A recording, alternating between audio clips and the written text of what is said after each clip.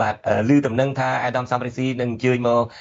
សហរដ្ឋអាមេរិកថ្មីថ្មីនេះផងអាចដឹងបានទេថាកាលកាលណាបានអញ្ជើញមកដល់ថ្ងៃសៅរ៍បាទថ្ងៃសៅរ៍ទី16ខែកុម្ភៈនេះខ្ញុំនឹងចេញធ្វើដំណើរពីប្រទេសបារាំងទៅដល់សហរដ្ឋអាមេរិកហើយខ្ញុំនៅយូរលើកនេះនៅប្រហែលមួយខែបានវិលត្រឡប់មកស្រុកបារាំងវិញ នៅចំពេលវេលាដែលល្អមួយនៅសហរដ្ឋអាមេរិកនេះជាពិសេសនៅតំបន់រដ្ឋធានី Washington នេះម្ដុំខែ4ចុងខែ3ចុងខែមីនានិងដើមខែ4នេះឬពេញខែ4នេះគឺ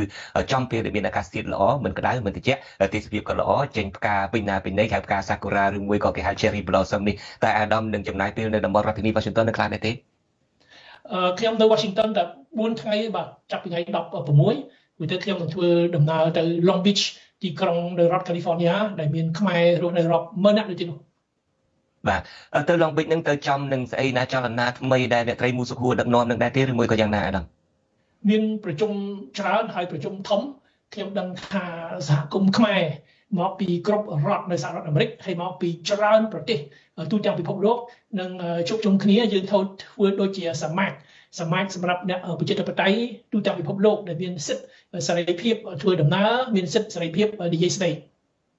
បាទអរគុណហើយក្រុមការងាររបស់អាស៊ីសេរីក៏នឹងទៅយកព័ត៌មានមិនមែនក្រុមទេតាមតែម្នាក់ទេគឺអ្នកដែលជំនាញម្នាក់ម្នាក់នឹងអាចចេះគ្រប់តែម្ដងគឺលោកយុនសមៀននឹងទៅយកព័ត៌មានខ្ញុំចង់ទៅដែរការពិតនឹងខ្ញុំដឹងតាំងពីសម្ភារជាមួយនឹងលោកជំទាវមូសុខួរតាំងពីនៅជប៉ុនម្លេះក៏ប៉ុន្តែខ្ញុំជាប់ព្យាបាលជំងឺរាល់ថ្ងៃទៅមិនរួចខកខាន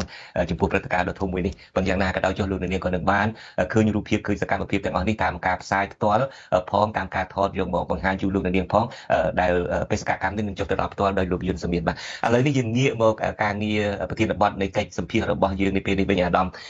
ខ្ញុំមើលឃើញរបាយការណ៍របស់អង្គការ TI Transparency International Cambodia អង្គការដំណាភាពកម្ពុជានឹងដែលជាទូទៅតែពួកគាត់តែងតែធ្វើ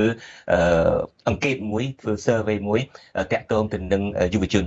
ហើយអ្វីដែលមើលទៅនឹងឃើញគួរឲ្យភ្ជាប់ផ្អើលមែនតើនោះគឺថា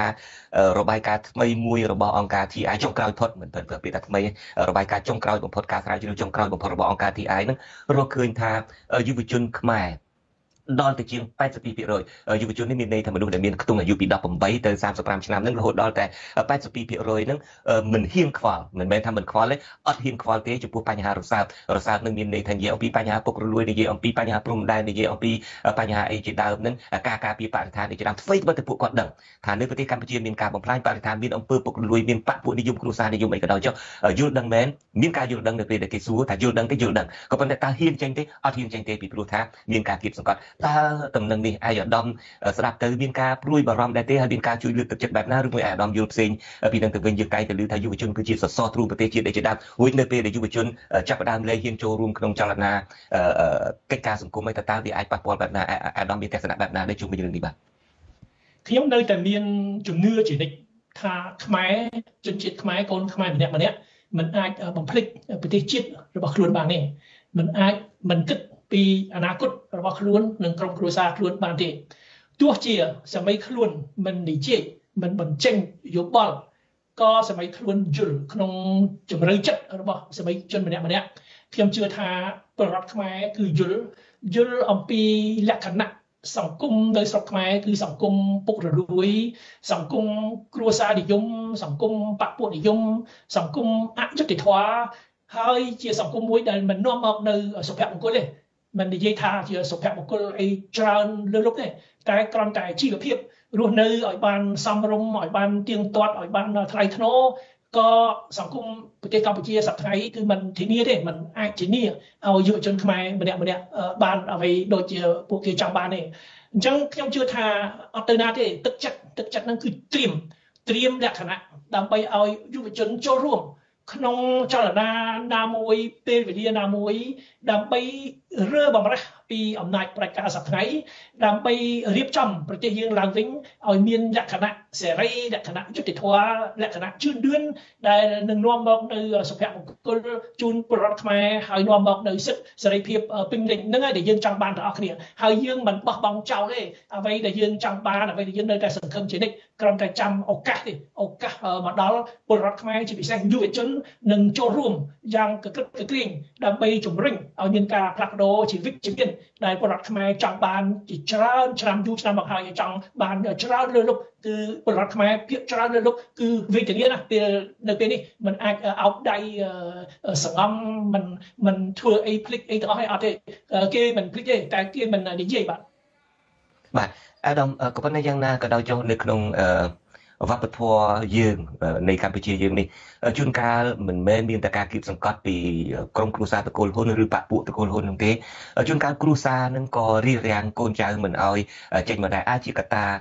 ចម្បងមួយដែរក្នុងការដែលការអប់រំពីគ្រួសារនេះជាពិសេសអ្វីដែលយើងធ្លាប់ឮចាស់បណ្ដៅថាយើងជាពងមន់ទេគុំទៅជុលនឹងថ្មអីជាដើមនឹងឬមួយក៏មានពាក្យថាតើតែយើងសងំសងំទៅផ្ដាល់អីឲ្យគេទៅអោនលំទោនទៅធ្វើផ្ទះនឹងឲ្យស្រះបន្លាទៅអាសាច់ជូនខ្លាទើបនៅស្រុកបានជាដើមដូច្នេះអាផ្នត់គំនិតនឹងអាចជាកត្តាចម្បងមួយដែលធ្វើឲ្យយុវជននឹងមិនហ៊ានចេញទៅដែរទេមិនហ៊ានបង្ហាញការមិនពេញចិត្តរបស់ខ្លួនបង្ហាញការរិះគន់របស់ខ្លួនទេដើម្បីឲ្យមានការកែប្រែនៅក្នុងសង្គមដែរដល់តើយើងគួរកែប្រែផ្នត់គំនិតបែបណាដែរទេផ្នត់គំនិតដែលលោកជុនច័ន្ទបុតលើកឡើងបាញ់មិញហ្នឹងជាផ្នត់គំនិតហួសសម័យហើយចាស់កម្រិលគឺមិនឲ្យប្រជាពលរដ្ឋ ឈឺឆ្អាលតវ៉ាតស៊ូដើម្បីកែលម្អសង្គមដែលយើងកំពុងតែរស់នៅមិនឲ្យយើងនឹងទៀមទាឲ្យមានសិទ្ធិសេរីភាពឲ្យមានឱកាសក្នុងជីវិតជាពិសេសការងារអ្វីដែលសំខាន់សម្រាប់យុវជន ទូទាំងពិភពលោកគឺការងារយុវជនចង់បានការងារត្រឹមត្រូវការងារមែនទែនការងារដែលផ្ដល់ប្រាក់ខែប្រាក់ចំណូលឲ្យយើងរស់បានសមរម្យទៀងទាត់ថ្លៃថ្នូរតែការងារបែបហ្នឹងរកមិនបានទេពិបាកណាស់នៅប្រទេសកម្ពុជា ហើយរបបដែលកាន់កាប់ឬគ្រប់គ្រងប្រទេសសប្តាហ៍ហ្នឹងគឺมันផ្ដល់ការងារជូនពលរដ្ឋខ្មែរជាពិសេសយុវជនទេអញ្ចឹងយុវជនត្រូវតែវិនិច្ឆ័យនៅក្រោមរបបត្រកូលហ៊ុននេះតើរកការងារបានធ្វើងាយទេ ការងារដែលអាចឲ្យយើងរស់បានធូរបានបានមានមានភាពថ្លៃថ្នូរដោយកិត្តិយសខ្ញុំជឿថាការងារបែបនេះតិចណាស់គឺភាគច្រើនបង្ខំចិត្តមានការងារអីធ្វើចិត្តតែធ្វើទៅធ្វើបណ្ដោះអាសន្នពីមួយថ្ងៃទៅមួយថ្ងៃទៅហើយយុវជនជាច្រើនរាប់លានអ្នកគឺសម្រាប់ចិត្តបង្ខំចិត្តភៀសខ្លួនទៅប្រទេសថៃពីព្រោះរកការងារគ្រាន់តែចិញ្ចឹមជីវិត ជាបបរមាគាត់រស់កុំឲ្យដាច់ពោះហ្នឹងក៏រកមិនបានទៅទៀតនៅស្រុកខ្មែរសប្តាហ៍អញ្ចឹងហើយបានបង្ខំចិត្តទៅប្រទេសថៃនេះហើយដែលបង្ហាញពីបរាជ័យបរាជ័យក្នុងវិស័យវិស័យសេដ្ឋកិច្ចដែលរដ្ឋាភិបាលលោកហ៊ុនសែនបានធ្វើឲ្យប្រទេសយើងធ្លាក់ដុនដាបមែនទែនក្នុងវិស័យសេដ្ឋកិច្ចវិស័យការងារវិស័យជីវភាពរស់នៅនេះហើយយើងត្រូវកត់សម្គាល់ថារបបហ៊ុនសែនគេដឹងគេដឹងថាគេបរាជ័យគេដឹងថាគេបរាជ័យគេមិនចង់ឲ្យប្រជាពលរដ្ឋគិតពីរឿងហ្នឹង ពីព្រោះបើគិតពីរឿងហ្នឹងគឺក្តៅក្រហាយខឹងរបបហ៊ុនសែនហ៊ុនម៉ាណែតសប្តាហ៍ថាអសមត្ថភាពអាឡែងតែរវល់តែពុករលួយស៊ីសំណគ្រួសារនិយមអីគឺគេមានបានតែគ្នាគេក្រុមគ្រួសារគេតែប្រហែលហ្នឹងតែប្រជាពលរដ្ឋច្រើនលុះលុក គឺវេទនាក្នុងសង្គមមួយដែលពុករលួយអយុត្តិធម៌ជាទីបំផុតអញ្ចឹងហើយបានគេចង់បង្វែរបង្វែរអារម្មណ៍យុវជនកុំឲ្យគិតពីរឿងហ្នឹងបើគិតពីរឿងហ្នឹងគឺជឿចាប់បើគិតពីរឿងហ្នឹងគឺចង់ឲ្យមានការផ្លាស់ប្ដូរមិនចង់ឲ្យរបបហ៊ុនសែននៅបន្តដឹកនាំប្រទេសទៀតទេអញ្ចឹងគេមានល្បិចល្បិចធ្វើម៉េចដើម្បីបង្វែរអារម្មណ៍កុំឲ្យយុវជនគិតពីបញ្ហាសង្គមហ្នឹងគឺគេនាំឲ្យភ្លើតភ្លើនគេពង្វក់ គេនាំឲ្យធ្វើសកម្មភាពដែលអត់បានការមិនត្រឹមតែអត់បានការទេជួនកាលសកម្មភាពដែលនាំមកនូវផលវិបាកអាក្រក់សកម្មភាពចង្រៃក៏មានដែរដូចជាលបែងស៊ីសងដូចជាគ្រឿងញៀនដូចជាការជួញដូរអ្វីអ្វីខុសច្បាប់ធ្វើឲ្យយើងនឹងគឺបាត់បង់សុខភាពដូចជាគ្រឿងញៀនបាត់បង់សុខភាពគ្រឿងស្រវឹងក៏បាត់បង់សុខភាពចំណាយលុយហើយមួយត្រូវការលុយច្រើនដើម្បីទៅទិញគ្រឿងញៀននោះ គឺត្រូវតែធ្វើចោលត្រូវតែលួចត្រូវតែប្លន់នាំឲ្យសង្គមស្រុកខ្មែរវឹកវរមែនទេអញ្ចឹងហើយគេសុខចិត្តឲ្យសង្គមខ្មែរវឹកវរឲ្យយើងនឹងខ្វល់តែរឿងអត់ប្រយោជន៍រឿងហិង្សារឿងផឹកស្រាផឹកស្រាបៀ ស្រវឹងគិតសបាយភ្លើតភ្លើនគេចង់ឲ្យយើងគិតតែប៉ុណ្ណឹងអញ្ចឹងយុវជនខ្ញុំជឿថាចេះគិតខ្លួនឯងដែរគឺមិនទៅចាញ់បោកមិនចាញ់បោករបបហ៊ុនសែនហ៊ុនម៉ាណែតដែលបង្វែរអារម្មណ៍យើងឲ្យតែគិតតែរវល់តែរឿងអត់បានការហើយរឿងដែលធ្វើឲ្យយើងខូចប្រយោជន៍ថែមទៀតសូម្បីតែការពិតគឺ យើងមិនអាចដឹងបានដែររបបហ៊ុនសែនហ៊ុនម៉ាណែតនេះគេលាក់គេបិទបាំងប្រវត្តិសាស្ត្រប្រទេសកម្ពុជាហើយប្រវត្តិសាស្ត្រចុងក្រោយនេះ50 60 70ឆ្នាំចុងក្រោយនេះគឺគេអត់ចង់ឲ្យយើងដឹងទេពីព្រោះដឹងថាប្រភពនៃអ្នកកាន់អំណាចសប្តាហ៍គឺចេញមកពីណាចេញមកពីពួកពួកបរទេសឈ្លានពានធ្វើអាយ៉ងគេបំរើផលប្រយោជន៍គេគឺគ្មានមានសមត្ថភាពអីទេគេចេះតែចាប់ដាក់ចាប់ដាក់លើកបន្ទប់គឺហ្នឹងហើយគេអត់ចង់ឲ្យយើងដឹងទេអត់ដឹងអត់ចង់ឲ្យយើងដឹងពីប្រវត្តិនៃអ្នកដឹកនាំប្រទេសសប្តាហ៍ប្រវត្តិប្រវត្តិសាស្ត្រប្រទេសកម្ពុជាទេអញ្ចឹងយើងនៅក្នុងសង្គមបែបហ្នឹងសង្គមខ្មៅងងឹតឧបទ្រពអត់ដឹងការពិតអត់ឃើញពន្លឺគេពង្វក់កន្លែងតែលោកតឆេបៃកឆាត់គ្មានបានការនឹងបើយុវជនចាញ់បោករបបហ៊ុនសែនចេះតែបណ្ដោយខ្លួនទៅជាអញ្ចឹងចោះទៅមិនទៅទៅ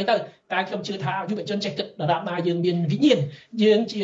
មនុស្សយើងជាខ្មែរយើងជាអ្នកស្រឡាញ់ជាតិស្រឡាញ់យុត្តិធម៌ស្រឡាញ់សេរីភាពគឺយើងមិនអាចសង្ងំសុខនៅក្រោមរបបហ៊ុនសែននោះទេ បាទអាដាមអាដាមបានលើកឡើងអំពីថាតើរបបបច្ចុប្បន្ននេះមានរបបភុនម៉ាណែតរបបភុនសែននេះគឺពង្រួមយុវជននៃការពង្រួមនឹងដូចអាដាមជ្រាបហើយគឺយកកូនប្រុសពៅរបស់លោកហ៊ុនសែនតែម្ដងមកធ្វើជាអ្នកដែលដើរពង្រួមយុវជននឹងហើយជួនកាលពង្រួមនឹងទ្រង់ទ្រីធំមែនតើអាដាមក្រៅពីរឿងលបែងរឿងសិល្បៈរឿងគ្រឿងញៀនរឿងអីហ្នឹងក៏ ឲ្យទៅពិធីបុណ្យចូលឆ្នាំម្ដងម្ដងអាដាមបានជ្រាបហើយគឺគេមានធ្វើពិធីសង្ក្រាននៅឯខេត្តសៀមរាបនោះហើយមានការចូលរួមពីយុវជនជួនកាលពួកគាត់សប្បាយអាចភ្លេចខ្លួនដែរអាចធ្វើរឿងនឹងអត់ប្រយោជន៍ដែរដោយអាដាមបានលើកឡើងជាសិទ្ធិរឿងអត់ប្រយោជន៍មានការប្រមូលរំម៉ាឌីសូនឲ្យបានច្រើនជាងគេផុតធ្វើអសមកធំជាងគេផុតតបែងកម្មានឹងវែងជាងគេបំផុតឬមួយក៏ធ្វើបេះដូងកដាស់នឹងច្រើនជាងគេបំផុតអីជាដើមនេះគឺសុទ្ធតែជាការដែលអត់ប្រយោជន៍ក៏ប៉ុន្តែក៏ គៀកែនយុវជននឹងបានមកច្រើនតែជួនកាលអាចសបាយមកផ្លែតនឹងភ្លេចខ្លួនដែរអាចភ្លេចខ្លួននឹងដែរទេហើយក្រៅទៅពីនឹងពួកគាត់នឹងក៏ចូលរួមរឿងសិល្បៈរឿងកីឡាអីនឹងដែរនៅពេលដែលគាត់ចាប់យកកម្លាំងយុវជននឹងបានជួនកាលកីឡានឹងឯងវាធ្វើឲ្យមានការចូលរួមរបស់យុវជនដែលជួនកាលរំភើបនឹងដែរនេះសុទ្ធតែជាល្បិចកលនៃការពង្វក់ដោយអាដាមបានលើកនឹងឡើងជានិច្ចហើយការពង្វក់នេះអាដាមការពិតនឹងគឺកាលពីឆ្នាំ2013ក៏មានការស្រាវជ្រាវម្ដងដែរទៅលើយុវជនតើតើយុវជននឹងចាប់អារម្មណ៍ពីរឿងនយោបាយចូលរួមរឿងនយោបាយឬអត់នឹងការនឹងដូចជាមិនមែនអង្គការ TI ទេការនឹងដូចជាអង្គការ UNDP បានធ្វើរបាយការណ៍មួយហើយបញ្ជាក់ស្តីងគ្នានឹងដែរថាយុវជនមិនចាប់អារម្មណ៍តទៅសោះពីរឿងនយោបាយអញ្ចឹងហើយបានកាលនឹងក្រុមគ្រួសារតកូលហ៊ុនមានលោកហ៊ុនសែននេះជាដើមកូនប្រុសពើលោកហ៊ុនសែននេះជាដើមនឹងអត់ទាន់ចូលមកពង្វក់យុវជនទេដែលគិតថាយុវជនមិនខ្វល់ពីរឿងនយោបាយហើយពង្វក់ធ្វើអីក៏ប៉ុន្តែទីបំផុតអាដាមបានជ្រាបហើយទៅពេលរបស់ឆ្នាំឆ្នាំ2013នឹងគឺយុវជននឹងឯងដើរតួជាសេនាធិការដើរជួយជារណសេរីជួមុខនឹងជួយដល់គណៈបកប្រឆាំងទៅតែម្ដងឲ្យឈ្នះឆ្នោតភ្លុកទឹកភ្លុកដីអីចឹងទៅចាប់ពីពេលនឹងមកហើយបានលោកហ៊ុនសែននឹងចាត់តាំងកូនគាត់អីនឹងចាប់ផ្ដើមពង្វក់យុវជននិស្សិតអីនឹងជាដើមហើយឥឡូវនេះម្ដងទៀតហើយនៅពេលដែលចាប់ផ្ដើមពង្វក់អញ្ចឹងឃើញរបាយការណ៍មួយថាយុវជនអត់ចាប់អារម្មណ៍ទៀតដែរក៏ប៉ុន្តែអាដាមសំរងស៊ីថាមិនទេគេគ្រាន់តែទុកនៅក្នុងចិត្តទេបើសិនជាមានឱកាសពួកគេនឹងឡើងចេញមកព្រាមតើមានកត្តាអីខ្លះដែលធ្វើឲ្យអាដាមហាក់ដូចជាទុកចិត្តបែបនេះអាដាមអាដាមទី1នៅក្រៅប្រទេសស្រាប់ផងអាដាមឃើញគេគៀបសង្កត់រាល់ថ្ងៃអ្នកចេញនៅអ្នកចេញនៅមុខដដែលដែរក៏ប៉ុន្តែអ្នកដែលមិនចេញនៅតែអត់ចេញដដែលហើយមានអីដែលអាដាមដូចសង្ឃឹមម្ល៉េះនិយមនៃយុវជនគឺនៅក្មេងគឺមានពេលវេលាច្រើនទៅមុខទៀតគឺអនាគត នៅវែងឆ្ងាយអញ្ចឹងច្បាស់ជាគិតឲ្យយុវជនថាអនាគតយើងម្នាក់ម្នាក់ជាយុវជននៅវែងឆ្ងាយថាយើងសង្ឃឹមអីហើយយុវជនក៏ចេះគិតដែរមិនមែនសង្ឃឹមបន់ស្រន់យកស្អីទៅសែនអីហ្នឹងគឺមិនមែនអញ្ចឹងទេគឺសង្ឃឹមមានការងារធ្វើនិយាយឲ្យចំទៅកលឹះនៃអនាគតរបស់យុវជនម្នាក់ម្នាក់គឺមានការងារធ្វើត្រឹមត្រូវ ការងារមែនតើដែលផ្ដល់មិនមែនតែប្រាក់ចំណូលឲ្យយើងរស់បានសមរម្យទេដែលផ្ដល់ចំណេះផ្ដល់បទពិសោធន៍ឲ្យយើងយកមកប្រើប្រាស់ឲ្យអនាគតយើងកាន់តែភ្លឺថ្លាថែមទៀតនឹងការងារល្អដែលរដ្ឋអំណាចដែលមានស្មារតីទទួលខុសត្រូវត្រូវតែលេខលោកផ្ដល់ឲ្យយុវជនម្នាក់ម្នាក់នៅប្រទេសជឿនលឿនគេមានសេរីភាពមានអ្នកដឹកនាំដែលមានស្មារតីទទួលខុសត្រូវ គេបញ្ជាក់គេប្រាប់ថាមួយឆ្នាំមួយឆ្នាំជួនកាលមិនដល់មួយឆ្នាំទេតើ6ខែម្ដងឬ3ខែម្ដងតើរដ្ឋអំណាចបានបង្កើតការងារបង្កើតការងារឲ្យបរិវត្តជាពិសេសឲ្យយុវជនបានប្រមាណដូចថាបើបរិវត្តខ្មែរមួយឆ្នាំមួយឆ្នាំដល់អាយុ18ឆ្នាំត្រូវតែចាប់ផ្ដើមរកការងារធ្វើថាបើមានចំនួនខ្ញុំថាបើមានចំនួន30ម៉ឺនអ្នកចោះណាអញ្ចឹង ត្រូវតែរកការងារ30ម៉ឺនការងារផ្ដល់ឲ្យយុវជនដែលចូលក្នុងទីផ្សារទីផ្សារការងារណាបើមិនផ្ដល់ការងារមានចំនួនស្មើនឹងចំនួនយុវជនដែលដល់អាយុរកការងារធ្វើនេះការងារធ្វើទេគឺសង្គមស្រុកយើងនោះគឺកាន់តែដុនដាបដុនដាបដាប់កាន់តែអន់ថយទៅហើយអញ្ចឹងហើយបានពលរដ្ឋខ្មែរដឹងខ្លួនថាអត់មានអនាគតទេ ក្រុមរបបហ៊ុនសែននេះពីព្រោះពីព្រោះពួកនេះអត់ចេះធ្វើអីទេអត់ចេះគ្រប់គ្រងសេដ្ឋកិច្ចអត់មានចក្ខុវិស័យវែងឆ្ងាយចក្ខុវិស័យហ្នឹងគឺហ្នឹងហើយការផ្ដល់ការងារការងារក្នុងវិស័យណាត្រូវរៀបចំប្រព័ន្ធអប់រំយ៉ាងម៉េចអប់រំជាទូទៅអប់រំវិជ្ជាជីវៈតើមានមធ្យោបាយយ៉ាងម៉េចបានធនធានពីណាមកនៅចក្ខុវិស័យគេលេងលោក ធ្វើម៉េចឲ្យយុវជនទៅថ្ងៃមុខគឺមានការងារធ្វើត្រឹមត្រូវបណ្ដាបណ្ដាតែនៅស្រុកខ្មែរអត់ទាំងអស់អត់អីទាំងអស់គ្មានចេះទឹកអីទាំងអស់ហើយមានតែផមានតែផឲ្យស្ថិតិផខ្លាំងខ្លាយគេសួរថាតើស្រុកខ្មែរអ្នកដែលអត់មានការងារធ្វើប្រមាណភាគរយក្នុងចំណោមប្រជាពលរដ្ឋដែលមានវ័យធ្វើការ សពដងនៅប្រទេសបារាំងនៅសហរដ្ឋអាមេរិកនៅប្រទេសអាល្លឺម៉ង់នៅប្រទេសថៃនៅប្រទេសវៀតណាមគឺគេតាមដានណាអ្នកដែលអត់មានការងារធ្វើអត្រាហ្នឹងដូចជាជំងឺអញ្ចឹងបើអត់មានការងារធ្វើអត្រាអ្នកអត់មានការងារធ្វើច្រើនអត្រាខ្ពស់ជំងឺជំងឺសេដ្ឋកិច្ចជំងឺសង្គមហ្នឹងវាធ្ងន់ធ្ងរនៅស្រុកគេអ្នកអត់មានការធ្វើ4%ហ្នឹងច្រើនណាស់បើនៅប្រទេសវៀតណាមនៅប្រទេសថៃថា10%ចុះច្រើនណាស់ តែនៅស្រុកយើងអ្នកដែលអត់មានការងារធ្វើណាបើយើងហ៊ានយកការពិតយកការពិតមករៀបតារាងណាមិនតិចជាង60 70%ដែលអត់មានការងារធ្វើតែរដ្ឋអំណាចផលថាអ្នកដែលអត់មានការងារធ្វើប្រមាណភាគរយគេថា0% 0%គេថាពលរដ្ឋខ្មែរទាំងថ្មីទាំងចាស់គឺមានការងារធ្វើគ្រប់គ្នាអស់ហើយកុំទៅខ្វល់កុំគិតច្រើនពេក អ្នកអត់ការងារធ្វើ0%អស់ចាគឺថាឈ្នះគេឈ្នះប្រទេសដែលគេមានអ្នកដឹកនាំល្អមានប្រសិទ្ធភាពគេធ្វើបន្កាត់បន្ថយអ្នកអត្រាអ្នកអត់មានការងារធ្វើគេ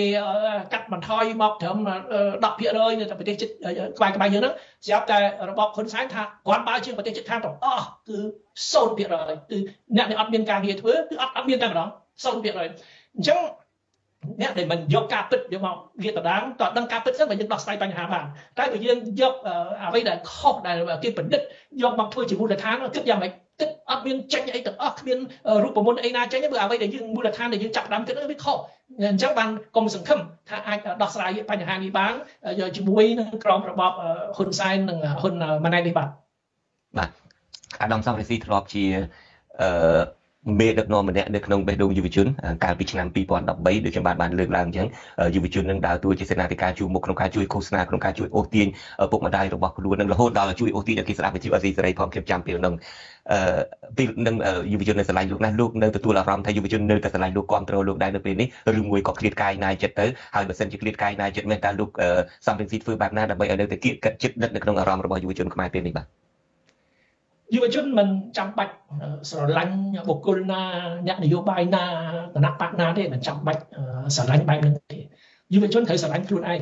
ស្រឡាញ់គាត់ខ្លួនឯងគឺចេះគិតពីផលប្រយោជន៍ខ្លួនឯងថាខ្លួនឯងចង់បានអីដូចខ្ញុំនិយាយពីដើមទីចង់បានការងារល្អត្រឹមត្រូវដែលធានាអនាគតយើងឲ្យមានភាពរុងរឿងរហូតដល់កូនចៅយើងតទៅទៀតយុវជនចង់បានបែបហ្នឹងបើចង់បានការងារបែបហ្នឹងណា ទាល់តែបដូររបបនឹងហើយពីព្រោះរបបនឹងគឺអសមត្ថភាពអសមត្ថភាពគ្មានស្នាដៃគ្មានសមត្ថភាពអីទាំងអស់ដោយលោកជនច័ន្ទគាត់គេលើកឡើងអំបញ្ញមិញស្នាដៃគេនឹងសិតតែរឿងអត់ប្រយោជន៍ហ្វមក្រុមអ្នករំច្រើនជាងគេធ្វើនំអន្សំវែងជាងគេត្បែងត្បែងកម្មាវែងជាងគេកាត់បេះដូងกระដាស់បានច្រើនជាងគេស្នាដៃបែបហ្នឹងឈួតសុទ្ធ អាស្នាដៃបែបហ្នឹងយកមកអះអាងធ្វើអីតែហ៊ុនសែនកូនហ៊ុនសែនស្អីហ្នឹងគឺយកមកនិយាយតែប៉ុណ្ណឹងឲ្យយុវជនហ្នឹងមានសบายចិត្តមោទនភាពប៉ុន្តែមោទនភាពរឿងអញ្ចឹងវាបានការអីមិនក៏មិនមោទនភាពរឿងថាណែស្រុកយើងឥឡូវហ្នឹងរៀបចំបានល្អយុវជនមានការងារធ្វើស្ទើរតែគ្រប់គ្នាដែលអត់ការងារធ្វើមិនខុសពីនៅប្រទេសជិតខាងប្រហែលនេះនៅតែគេហៅថាស្នាដៃស្នាដៃហ្នឹងតែគេបង្ហាញថាសមត្ថភាពអញ្ចឹងបានសង្គមយើងបើចង់ឲ្យមានអនាគត ទៅមុខសម្រាប់ពលរដ្ឋយើងគឺត្រូវបដូរផ្ដាត់ផ្នត់កំណត់ត្រូវមានផ្នត់កំណត់ថ្មីវប្បធម៌ថ្មី ដែលយើងហៅថាសមត្ថភាពនិយមឬស្នាដៃនិយមត្រូវឲ្យតម្លៃទៅសមត្ថភាពហើយស្នាដៃទៅឲ្យតម្លៃទៅស្នាដៃត្រូវជ្រើសរើសណា ជ្រើសរើសអ្នកដែលទទួលការខុសត្រូវក្នុងសង្គមមានការងារធ្វើល្អដែលគេចម្រាញ់រឿងនោះត្រូវមានសមត្ថភាពត្រូវមានស្នាដៃមានសមត្ថភាពស្នាដៃដែលអាចលាតត្រដាងបានឲ្យគេដឹងឮទាំងអស់គ្នាតែសកម្មអត់ទេអត់ត្រូវការសមត្ថភាពអត់ត្រូវការស្នាដៃទេត្រូវការតែបពុត្រូវការតែខ្សែ ឲ្យយើងចូលជាមួយគេទៅណាដើរតាមគេទៅឃោសនាឲ្យគេទៅនិយាយអ្វីអ្វីដែលមិនមែនជាការពិតតាមគេទៅហើយបើសង្គមដែលមានផ្នត់កំណត់បែបហ្នឹងណាសង្គមនឹងអត់រីកចម្រើនទេពីព្រោះអត់ឲ្យតម្លៃទៅសមត្ថភាពគិតតែពុករលួយគិតតែលុយគិតតែបាក់ពួកហើយធ្វើឲ្យមានគំរូអាក្រក់ដោយថាក្នុងសង្គមខ្មែរសពថ្ងៃស្រុកយើង គឺមិនចាំបាច់ចេះដឹងមែនតើទេមិនចាំបាច់មានសញ្ញាបត្រមែនតើដែលយើងដែលយើងដែលយើងខំទទួលដោយខំរៀនពិតប្រាកដដែលបង្កើនសមត្ថភាពយើងដែលបញ្ចេញស្នាដៃអត់ទេស្រុកខ្មែរខ្លាំងខ្លាយទាំងអស់ភាគច្រើនណាអ្នកដឹកនាំប្រទេសដូចជាហ៊ុនសែនអីប្រពន្ធហ៊ុនសែនហ្នឹងសិតតែសញ្ញាបត្រខ្លាំងខ្លាយសញ្ញាបត្របណ្ឌិតអញ្ចឹងបើយកតែអារឿងអារឿងខ្លាំងខ្លាយភូតភរមកមកសំអាង តើសង្គមយើងអាចជឿនលឿនអត់បានទេអត់បានទេព្រោះឲ្យគំរូអាក្រក់ដូចជាជាសារមួយសារផ្ញើទៅយុវជនថាមិនបាច់ទេមិនបាច់ខំរៀនទេចង់បានសញ្ញាបត្រយកគង់ទៅអាចទទួលសញ្ញាបត្រคล้ายคล้ายដោយហ៊ុនសែនដោយបុណ្យរាហ៊ុនសែនដោយអ្នកដឹកនាំប្រទេសសប្តាហ៍សិទ្ធិបណ្ឌិតទាំងអស់ម្នាក់ម្នាក់មានងារមានសញ្ញាបត្រជាជាបណ្ឌិតប៉ុន្តែคล้ายคล้ายទាំងអស់អញ្ចឹង បើយើងមានអវបធម៌ខ្លាំងៗហ្នឹងហើយមិនចាំបាច់មានសមត្ថភាពទេចូលជាមួយគេទៅណាដើរតាមគេទៅឃោសនាឲ្យគេទៅអានឹងបានបានរស់ប៉ុន្តែរស់ជាយ៉ាងម៉េចរស់ជាអ្នកសំទានយើងយើងទៅរស់ជាអ្នកសំទានយើងគេឲ្យអីចេះតែឲ្យទៅគេចាត់ទុកយើងជាមិនដឹងជាចាត់ទុកជាស្អីទេក្នុងសង្គមសពខ្មែរក្នុងសេដ្ឋកិច្ចដែលថាពលរដ្ឋខ្មែរមានការងារធ្វើគ្រប់គ្នាអានឹងដែលហ៊ុនសែនគាត់ប្រកាសពួកគាត់ប្រកាសហ្នឹងគាត់គិតថាអ្នកសំទានមានការងារធ្វើ អ្នករើសសម្រាមក៏មានការងារធ្វើអញ្ចឹងចាត់ទុកថាប្រជាពលរដ្ឋធ្វើអ្នកសំទានធ្វើអ្នករើសសម្រាមទៅមិនបាច់គិតខ្វល់អីលើពីហ្នឹងទេបាទអរគុណអាដាមយុវជនអាចអាចបន្តរស់នៅក្រមរបបនឹងតទៅទៀតយ៉ាងយ៉ាងយ៉ាងសុបាយមិនអាចសុបាយបានទេបាទ បាទបាទអរគុណអាដាមខ្ញុំចាប់អារម្មណ៍ណាស់អាដាមដែលបានប្រើពាក្យថាគេធ្វើយុវជននឹងឲ្យទៅជាអ្នកដែលសុំទានគេធ្វើជាអ្នកដែលចាំតែអោនលំទួនចាំតែអែបអបគេនឹងអានឹងក៏ជាបញ្ហាព្រួយបារម្ភមួយដែរដែលធ្វើជាយុវជនឃើញថាបើមិនទៅអែបអបគ្រួសារតកូលហ៊ុនទេបើមិនទៅលើកជើងពួកក្រុមតកូលហ៊ុននិងបកពួកទៀតនឹងមិនអាចធ្វើអីបានប៉ុន្តែអាដាម បាទខ្ញុំមើលឃើញរបាយការណ៍របស់អង្គការ TI Transparency International Cambodia អង្គការដំឡាភិបកម្ពុជានឹងដែលជាទូទៅតែពួកគាត់តែងតែធ្វើអង្កេតមួយធ្វើ survey មួយតាក់ទងទៅនឹងយុវជន ហើយអ្វីដែលមើលទៅនឹងឃើញគួរឲ្យភ្ញាក់ផ្អើលមែនតើនឹងគឺថារបាយការណ៍ថ្មីមួយរបស់អង្គការ TI ចុងក្រោយផុតមិនប្រើពាក្យថាថ្មីរបាយការណ៍ចុងក្រោយបំផុតការស្រាវជ្រាវចុងក្រោយបំផុតរបស់អង្គការ TI នឹងរកឃើញថាយុវជនខ្មែរដល់ទៅជាង82%យុវជននេះមានន័យថាមនុស្សដែលមានខ្ទង់អាយុពី18ទៅ35ឆ្នាំនឹងរហូតដល់តែ82%នឹងមិនហ៊ានខ្វល់មិនមែនថាមិនខ្វល់ទេអត់ហ៊ានខ្វល់ទេចំពោះបញ្ហារសើបរសើបនឹងមានន័យថានិយាយអំពីបញ្ហាពុករលួយនិយាយអំពីបញ្ហាព្រំដែននិយាយអំពីបញ្ហាអីជាដើមនឹងការការពារបរិស្ថានអីជាដើមអ្វីទៅពួកគាត់ដឹងថានៅប្រទេសកម្ពុជាមានការបំផ្លាញបរិស្ថានមានអំពើពុករលួយមានបពពួកនិយមគ្រួសារនិយមអីក៏ដោយចុះយល់ដឹងមែនមានការយល់ដឹងនៅពេលដែលគេសួរថាយល់ដឹងទេយល់ដឹងក៏ប៉ុន្តែតើហ៊ានចេញទេអត់ហ៊ានចេញទេពីព្រោះថាមានការគៀបសង្កត់តើតំណែងនេះអាយឧត្តមស្ដាប់ទៅមានការព្រួយបារម្ភដែរទេហើយមានការជួយលើកទឹកចិត្តបែបណាឬមួយអាយឧត្តមយល់ផ្សេងពីនឹងទៅវិញយើងតែងតែឮថាយុវជនគឺជាសសរទ្រូប្រទេសជាតិដែលជាដើមរួចនៅពេលដែលយុវជនចាប់ផ្ដើមលែងហ៊ានចូលរួមក្នុងចលនាកិច្ចការសង្គមអីតើតើវាអាចប៉ះពាល់បែបណាអាដាមមានទស្សនៈបែបណាដែលជុំវិញរឿងនេះបាទខ្ញុំនៅតែមានជំនឿជានិច្ចថាខ្មែរជនជាតិខ្មែរកូនខ្មែរម្នាក់ម្នាក់มันអាចបំភ្លេចប្រទេសជាតិរបស់ខ្លួនបានទេมันអាចមិនគិតពីអនាគតរបស់ខ្លួននិងក្រុមគ្រួសារខ្លួនបានទេទោះជាសម័យខ្លួនមិននិយាយមិនបញ្ចេញយោបល់ក៏សម័យខ្លួនយល់ក្នុងជំរឿចិត្តរបស់សម័យជនម្នាក់ម្នាក់ខ្ញុំជឿថាប្រវត្តិខ្មែរគឺយល់ យល់អំពីលក្ខណៈសង្គមនៅស្រុកខ្មែរគឺសង្គមពុករលួយ សង្គមគ្រួសារនិយម សង្គមបពុនិយម សង្គមអយុត្តិធម៌ហើយជាសង្គមមួយដែលមិននាំមកនៅសុភមង្គលទេមិននិយាយថាជាសុភមង្គលអីច្រើនលើលុបទេតែគ្រាន់តែជីវភាពរស់នៅឲ្យបានសមរម្យឲ្យបានទៀងទាត់ឲ្យបានថ្លៃថ្នូរ ក៏សង្គមប្រទេសកម្ពុជាសប្តាហ៍គឺมันធានាទេมันអាចធានាឲ្យយុវជនខ្មែរម្នាក់ម្នាក់បានអ្វីដូចជាពួកគេចង់បានទេអ អញ្ចឹងខ្ញុំជឿថាអត់ទៅណាទេទឹកចិត្តទឹកចិត្តហ្នឹងគឺត្រៀមត្រៀមលក្ខណៈដើម្បីឲ្យយុវជនចូលរួមក្នុងចលនាណាមួយពេលវេលាណាមួយដើម្បី រើបំរាស់ពីអំណាចប្រជាការសប្តាហ៍ដើម្បីរៀបចំប្រទេសយើងឡើងវិញឲ្យមានលក្ខណៈសេរីលក្ខណៈយុត្តិធម៌លក្ខណៈជឿនលឿនដែលនឹងនាំមកនៅសុភមង្គលជូនប្រជារដ្ឋខ្មែរហើយនាំមកនៅសិទ្ធិសេរីភាពពេញលេញហ្នឹងហើយដែលយើងចង់បានទាំងអស់គ្នាហើយយើងមិនបោះបង់ចោលទេអ្វីដែលយើងចង់បានអ្វីដែលយើងនៅតែសង្ឃឹមជានិច្ចគ្រាន់តែចាំឱកាសទេឱកាសមកដល់ពលរដ្ឋខ្មែរជាពិសេសយុវជននឹងចូលរួម យ៉ាងកក្រឹកកក្រែងដើម្បីជំរុញឲ្យមានការផ្លាស់ប្ដូរជាវិជ្ជមានដែលពលរដ្ឋខ្មែរចង់បានជាច្រើនឆ្នាំយូរឆ្នាំមកហើយចង់បានច្រើនលើលុបគឺពលរដ្ឋខ្មែរភាគច្រើនលើលុបគឺវេទនាណាពេលនៅពេលនេះมันអាចអោបដៃសងំมันធ្វើអីភ្លេចអីទាំងអស់ហើយអត់ទេគេមិនភ្លេចទេតែគេមិននិយាយបាទ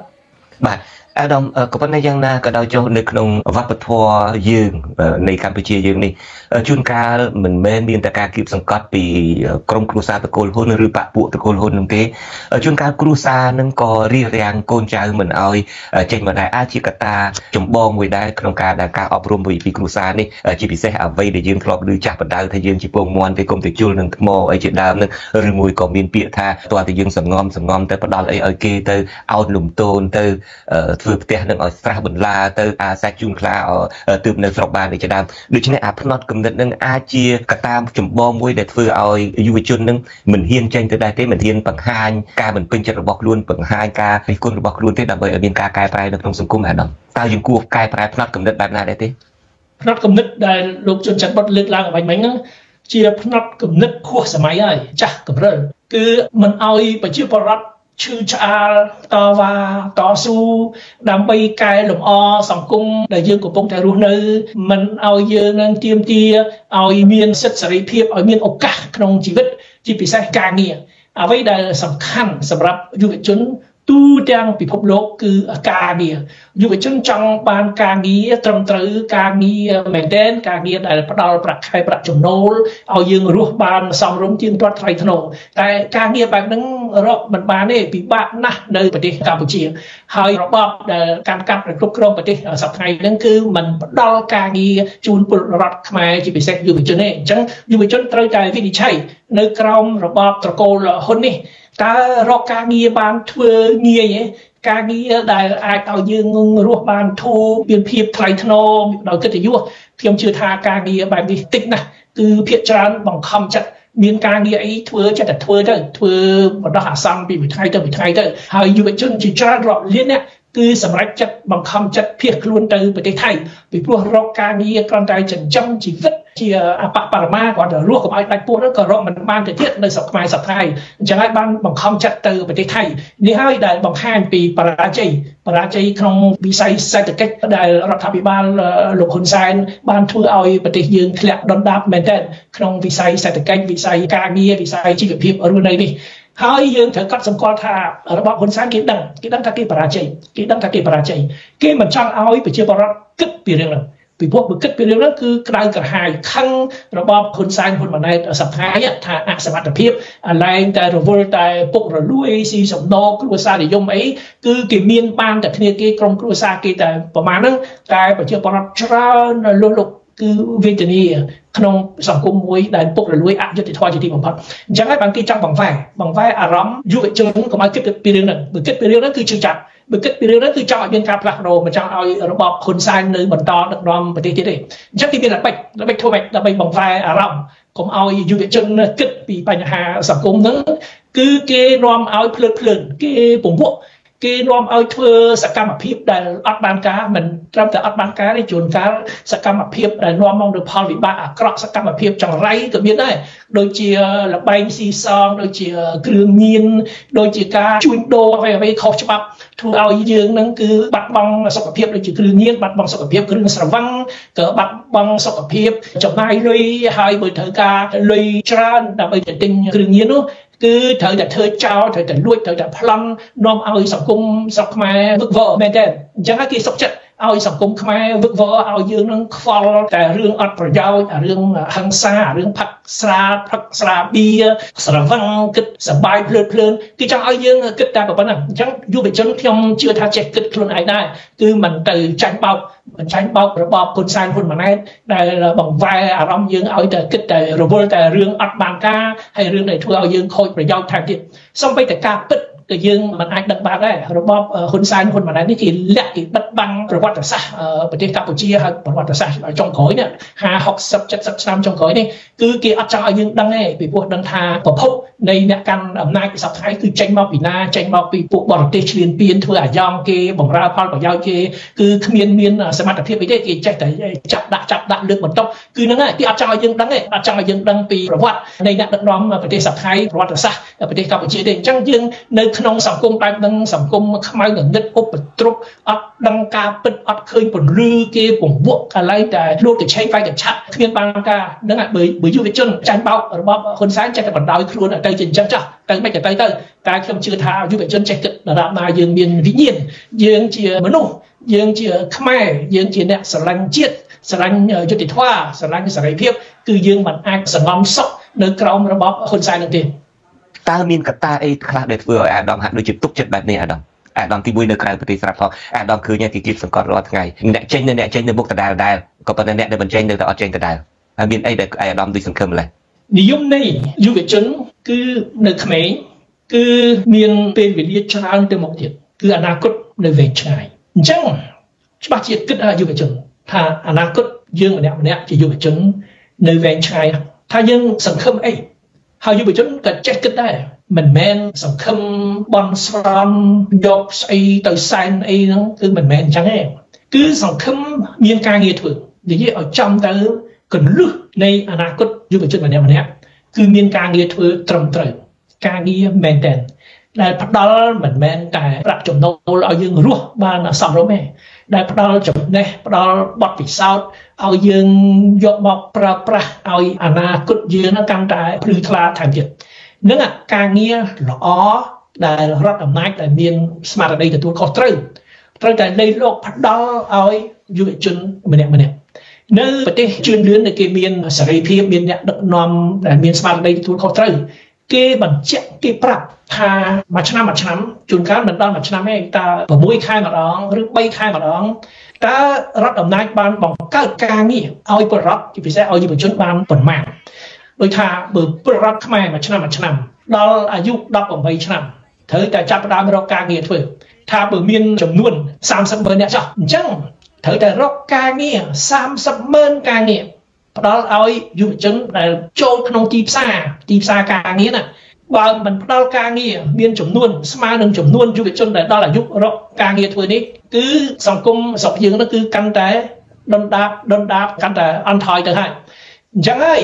បានពលរដ្ឋខ្មែរដឹងខ្លួនថាអត់មានអនាគតទេក្រុមរបបហ៊ុនសែននេះពីព្រោះពួកនេះអត់ចេះធ្វើអីទេ អត់ចេះគ្រប់គ្រងសេដ្ឋកិច្ចអត់មានចក្ខុវិស័យវែងឆ្ងាយចក្ខុវិស័យហ្នឹងគឺហ្នឹងហើយការផ្ដល់ការងារការងារក្នុងវិស័យណាត្រូវរៀបចំប្រព័ន្ធអប់រំយ៉ាងម៉េចអប់រំជាទូទៅអប់រំវិជ្ជាជីវៈតើមានមធ្យោបាយយ៉ាងម៉េចបានធនធានពីណាមកនឹងចក្ខុវិស័យដែលគេលេងលោកធ្វើម៉េចឲ្យយុវជនទៅថ្ងៃមុខគឺមានការងារធ្វើត្រឹមត្រូវបណ្ដាបណ្ដាតែនៅស្រុកខ្មែរអត់ទាំងអស់អត់អីទាំងអស់គ្មានចេះគិតអីទាំងអស់ហើយមានតែផល មានតែផលឲ្យស្ថិតិคล้ายคล้ายគេសួរថាតើស្រុកខ្មែរអ្នកដែលអត់មានការងារធ្វើប្រមាណភាគរយក្នុងចំណោមប្រជាពលរដ្ឋដែលមានវ័យធ្វើការសពដងនៅប្រទេសបារាំងនៅសហរដ្ឋអាមេរិកនៅប្រទេសអាល្លឺម៉ង់នៅប្រទេសថៃនៅប្រទេសវៀតណាមគឺគេតាមតានណាអ្នកដែលអត់មានការងារធ្វើអត្រាហ្នឹងដូចជាជំងឺអញ្ចឹងបើអត្រាដែលអត់មានការងារធ្វើច្រើនអត្រាខ្ពស់ជំងឺជំងឺសេដ្ឋកិច្ចជំងឺសង្គមហ្នឹងវាធ្ងន់ធ្ងរនៅស្រុកគេអ្នកដែលអត់មានការធ្វើ 4%ហ្នឹងច្រើនណាស់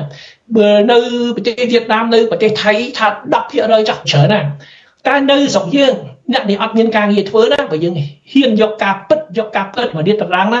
មិនតិចជាង60 70%ដែលអត់មានការងារធ្វើតែរដ្ឋអំណាចផលថាអ្នកអត់មានការងារធ្វើប្រមាណភាគរយគេថា0%ភាគរយ0%គេថាពលរដ្ឋខ្មែរទាំងថ្មីទាំងចាស់គឺមានការងារធ្វើគ្រប់គ្នាអស់ហើយកុំទៅខ្វល់កុំគិតច្រើនពេក អ្នកអត់ការងារធ្វើ0%អស់ចាគឺថាឈ្នះគេឈ្នះប្រទេសដែលគេមានអ្នកដឹកនាំល្អមានប្រសិទ្ធភាពគេកាត់បន្ថយអត្រាអ្នកអត់មានការងារធ្វើគេកាត់បន្ថយមកត្រឹម10%នៅតែប្រទេសក្បែរក្បែរយើងហ្នឹងស្រាប់តែរបបហ៊ុនសែនថាគាត់បើជាប្រទេសជិតខាងទាំងអស់គឺ0%គឺអ្នកដែលអត់មានការងារធ្វើអត់មានតែម្ដង0% អញ្ចឹងអ្នកដែលមិនយកការពិតយកមកវាតដាងតើដឹងការពិតសិនបើយើងដោះស្រាយបញ្ហាបានតែបើយើងយកអ្វីដែលខុសដែលគេប្រឌិតយកមកធ្វើជាមូលដ្ឋានគិតយ៉ាងម៉េចគិតអត់មានចេញអីទាំងអស់គ្មានរូបមន្តអីណាចេញទេព្រោះមូលដ្ឋានដែលយើងចាប់ផ្ដើមគិតវាខុសអញ្ចឹងបានកុំសង្ឃឹមថាអាចដោះស្រាយបញ្ហានេះបានក្រោមរបបហ៊ុនសែននិងហ៊ុនម៉ាណែតនេះបាទ បាទអាដាមសំរេស៊ីធ្លាប់ជាមេដឹកនាំម្នាក់នៅក្នុងបេះដូងយុវជនកាលពីឆ្នាំ2013ដូចខ្ញុំបានបានលើកឡើងអញ្ចឹងយុវជននឹងដើរតួជាសេនាធិការជួមុខក្នុងការជួយឃោសនាក្នុងការជួយអូសទាញពុកម្ដាយរបស់ខ្លួននឹងរហូតដល់ជួយអូសទាញឲ្យគេស្ដាប់វិទ្យុអេស៊ីសេរីផងខ្ញុំចាំពេលនឹងពេលនឹងយុវជននៅស្រឡាញ់លោកណាលោកនៅទទួលអារម្មណ៍ថាយុវជននៅតែស្រឡាញ់លោកគ្រប់គ្រងលោកដែរនៅពេលនេះឬមួយក៏ឃ្លាតកាយណាយចិត្តទៅហើយបើសិនជាឃ្លាតកាយណាយចិត្តមែនតើលោកសំរេស៊ីធ្វើបែបណាដើម្បីឲ្យនៅតែគៀកកិតចិត្តដិតនៅក្នុងអារម្មណ៍របស់យុវជនខ្មែរពេលនេះបាទ យុវជនមិនចាំបាច់ស្រឡាញ់បុគ្គលណាអ្នកនយោបាយណាគណៈបកណាទេមិនចាំបាច់ស្រឡាញ់បែបហ្នឹងទេយុវជនត្រូវស្រឡាញ់ខ្លួនឯងស្រឡាញ់ខ្លួនឯងគឺចេះគិតពីផលប្រយោជន៍ខ្លួនឯង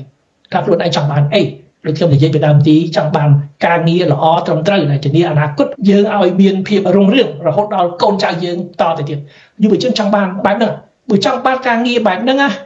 ទាល់តែបដូររបបនឹងហើយពីព្រោះរបបនឹងគឺអសមត្ថភាពអសមត្ថភាពគ្មានស្នាដៃគ្មានសមត្ថភាពអីទាំងអស់ដោយលោកជុនច័ន្ទគាត់លើកឡើងឲ្យបាញ់មិញស្នាដៃគេនឹងសិតតែរឿងអត់ប្រយោជន៍ហ្វងក្រុមអ្នករំច្រើនជាងគេធ្វើនំអន្សមវែងជាងគេត្បាញកម្មាវែងជាងគេកាត់បេះដូងกระดาษបានច្រើនជាងគេស្នាដៃបែបហ្នឹងឈួតសឹក អាស្នាដៃបែបហ្នឹងយកមកអះអាងធ្វើអីតែហ៊ុនសែនកូនហ៊ុនសែនស្អីហ្នឹងគឺយកមកនិយាយតែប៉ុណ្ណឹងឲ្យយុវជនហ្នឹងសบายចិត្តមោទនភាពប៉ុន្តែមោទនភាពរឿងអញ្ចឹងវាបានការអីមិនក៏មិនមោទនភាពរឿងថាណែស្រុកយើងឥឡូវហ្នឹងរៀបចំបានល្អយុវជនមានការងារធ្វើស្ទើរតែគ្រប់គ្នាអ្នកអត់ការងារធ្វើមិនខុសពីនៅប្រទេសជិតខាងប្រហែលនេះនៅដែលគេហៅថាស្នាដៃ ស្នាដៃហ្នឹងដែលគេបង្ហាញថាសមត្ថភាពអញ្ចឹងបានសង្គមយើងបើចង់ឲ្យមានអនាគតទៅមុខសម្រាប់ពលរដ្ឋយើងគឺត្រូវបដូរផ្នត់គំនិតត្រូវមានផ្នត់គំនិតថ្មីវប្បធម៌ថ្មី ដែលយើងហៅថាសមត្ថភាពនិយមឬស្នាដៃនិយមត្រូវឲ្យតម្លៃទៅសមត្ថភាពឲ្យតម្លៃទៅស្នាដៃត្រូវជ្រើសរើសណា ជ្រើសរើសអ្នកដែលទទួលការខុសត្រូវក្នុងសង្គមមានការងារធ្វើល្អដែលគេចម្រាញ់រឿងនោះត្រូវមានសមត្ថភាពត្រូវមានស្នាដៃមានសមត្ថភាពនិងស្នាដៃដែលអាចលាតត្រដាងបានឲ្យគេដឹងឮទាំងអស់គ្នាតែសកម្មអត់ទេអត់ត្រូវការសមត្ថភាពអត់ត្រូវការស្នាដៃទេត្រូវការតែបពុត្រូវការតែខ្សែ ឲ្យយើងចូលជាមួយគេទៅណាដើរតាមគេទៅឃោសនាឲ្យគេទៅនិយាយអ្វីអ្វីដែលមិនមែនជាការពិតតាមគេទៅហើយបើសង្គមដែលមានផ្នត់កំណត់បែបហ្នឹងណាសង្គមនឹងអត់រីកចម្រើនទេពីព្រោះអត់ឲ្យតម្លៃទៅសមត្ថភាពគិតតែពុករលួយគិតតែលុយគិតតែបាក់ពួកហើយធ្វើឲ្យមានគំរូអាក្រក់ដោយថាក្នុងសង្គមខ្មែរសពថ្ងៃស្រុកយើង គឺมันចាំបាច់ចេះដឹងមែនតើទេมันចាំបាច់មានសញ្ញាបត្រមែនតើដែលយើងខំទទួលខំរៀនពិតប្រាកដដែលបង្កើនសមត្ថភាពយើងដែលបញ្ចេញស្នាដៃអត់ទេស្រុកខ្មែរខ្លាំងខ្លាយទាំងអស់ភាគច្រើនណាស់អ្នកដឹកនាំប្រទេសដូចជាហ៊ុនសែនអីប្រពន្ធហ៊ុនសែនហ្នឹងសិតតែសញ្ញាបត្រខ្លាំងខ្លាយសញ្ញាបត្របណ្ឌិតអញ្ចឹងបើយកតែរឿងខ្លាំងខ្លាយភូតភរមកសំអាង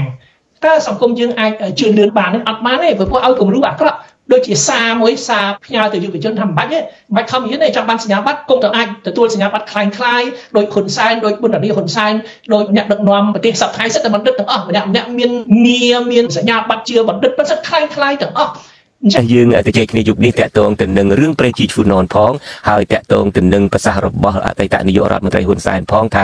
កម្ពុជាចង់ឲ្យមានឯករាជ្យអំពីរឿងសេដ្ឋកិច្ចអំពីរឿងពាណិជ្ជកម្មនឹងពីប្រទេសវៀតណាមផងតើតើធ្វើបានឬយ៉ាងណាក៏ប៉ុន្តែមុននឹងទៅជែកគ្នាអំពីរឿងសេដ្ឋកិច្ចរឿងពាណិជ្ជកម្មជាមួយប្រទេសវៀតណាមនេះលោកសំរងស៊ីក៏ជាមនុស្សម្នាក់ដែលលេចធ្លោជាងគេក្នុងការ